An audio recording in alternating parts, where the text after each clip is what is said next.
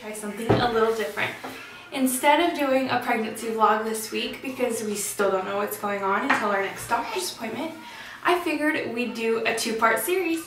And I would tell you 10 of the things that I regret buying for my baby, which would be Hunter, and 10 things I absolutely had to have. So stay tuned and we'll get started.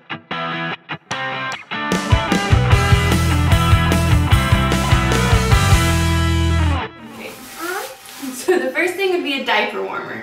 Hunter, with Hunter, we never used it, ever. It just sat there, collected dust. I think it was about $20. Biggest mistake of your life. In the middle of the night, you don't have time to go and, you know, it's just a waste of money. The easiest thing is just rip open the box of the thing of wipes and just wipe them. They don't really care, you know, if it's cold or not. We never had a problem. So if it was a little too cold, the only thing that I would do um, is that you could warm it up in your hand a little bit. And you can do it that way. Second thing was a bottle warmer. With Hunter, we tried to use this. I found out that I ended up burning my fingers more than actually getting his bottle warm.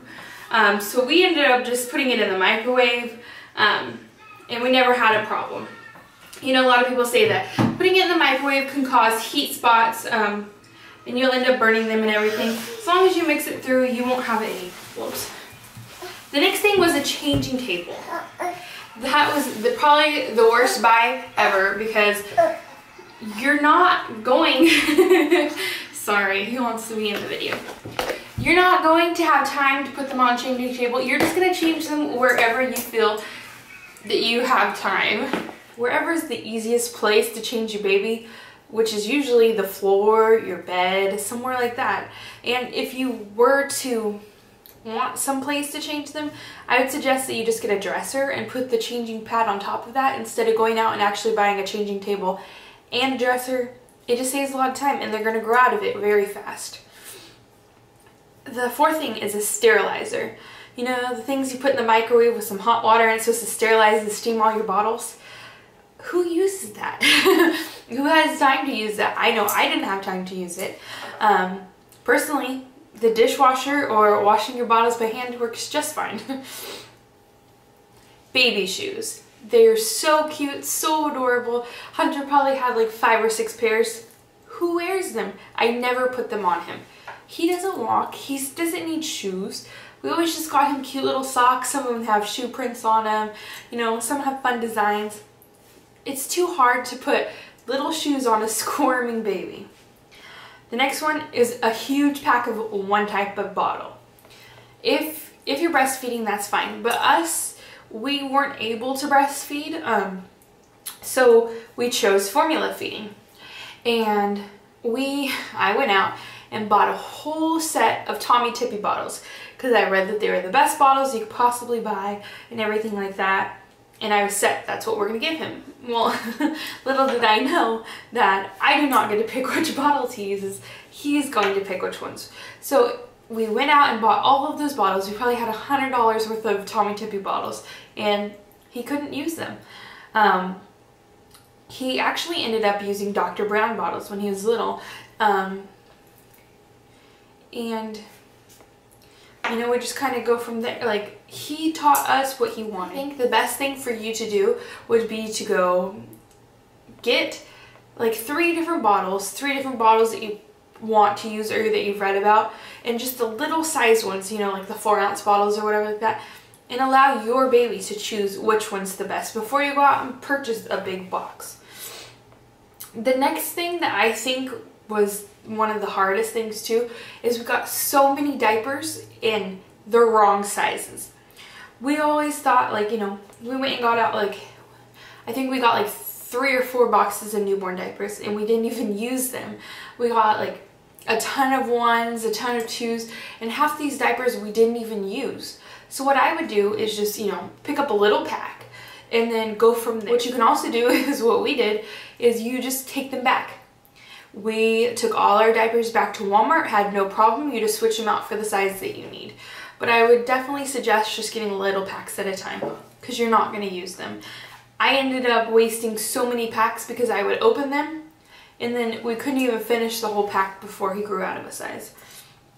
The next thing I regret buying, which I I don't know if it's just because it was with Hunter, but we ended up getting two swings and Hunter never used them. So they just took up a lot of space in our house. Um, I'm talking about the big swings because we had a little swing that you put on the table and he loved it.